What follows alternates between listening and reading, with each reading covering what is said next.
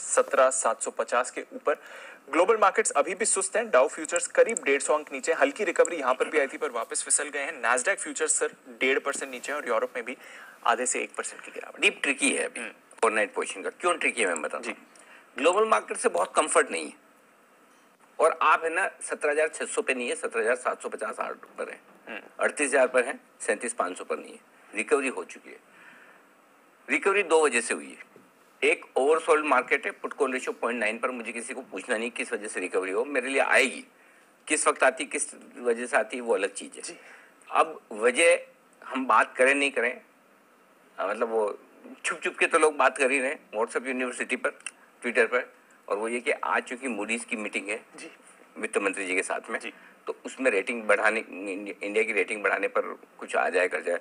मेरा ये समझना है विचार हो सकता है बातचीत हो सकती है। वित्त मंत्री जी कहेंगे भी भाई हम इतना अच्छा कर रहे हैं। कोई वजह नहीं कि आप हमारी रेटिंग ना बढ़ाएँ। बिल्कुल। वैक्सीनेशन में हम सबसे आगे हैं रिकवरी में हम सबसे आगे हैं। सब कुछ है पॉइंट्स हैं बहुत हैं। लेकिन क्या कल सुबह रेटिंग अपग्रेड होगा? नहीं। मुझे नहीं पता। नहीं। हाँ तो इतना जल्दी नहीं होता।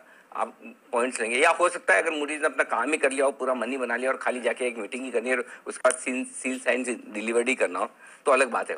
होगी नहीं होगी मुझे नहीं पता। और हो रेटिंग पर चर्चा होगी या नहीं होगी ये भी नहीं पता। बढ़ेगी नहीं बढ़ेगी ये भी नहीं पता। तो हमें ये पता नहीं है। लेकिन हो सकता है इस उम्मीद में मार्केट ऊपर आया हो। करेक्ट क्योंकि बाकी कुछ बदला नहीं है। ये सौ सवा सौ पॉइंट नीचे जो डाउ फ्यूचर था वो एक घंटे पहले भी था। बिल्कुल। मेरे लिए दो ही चीज़ें थी। एक ओवरसोल्ड मार्केट है। अगर गिरने के लिए कोई बहाना चाहिए कमोडिटीज का तो बढ़ने के लिए भी कोई बहाना चाहिए मूडीज का। यस वो हो सकता है। सो so, आपको सिर्फ़ ये करना है क्या होगा वो पता नहीं। इसलिए अगर आप व्यू थोड़ा सा लंबा रख रहे हैं। कल को कल के बियॉन्ड तो आप अपनी हेज पोजीशन को होल्ड करके चले कोई दिक्कत नहीं। और अगर आपका शॉर्ट टर्म व्यू और आपको रिस्क नहीं चाहिए। समझो कल फिर सत्रह छह सौ दिखे। तो आप डरेंगे तो नहीं ना। अगर वो है तो कम कर लो। और नहीं तो कोई बात नहीं। अगर समझो मूडीज की रेटिंग नहीं आई कुछ नहीं आया और वापस सत्रह सौ तो ठीक है कोई बात नहीं चलता है। सो आपको पोजिशनिंग वो करनी है। मार्केट में क्या होगा वो प्रेडिक्ट करने की कोशिश मत कीजिए पता नहीं। इवेंट्स किसी को नहीं पता मुझे तो कम से कम नहीं पता क्या होगा।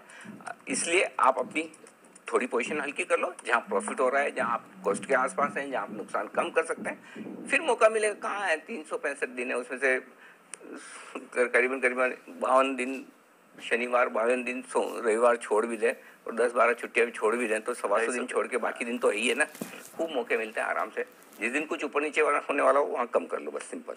बिल्कुल सर। तो ये है आपके लिए बाज़ार पर स्ट्रैटेजी थोड़ा लाइट हो जाए थोड़ा कॉशियस रहें। अच्छी रिकवरी आई है अगर आपने भरोसा रखा तो पैसा भी कमाया होगा।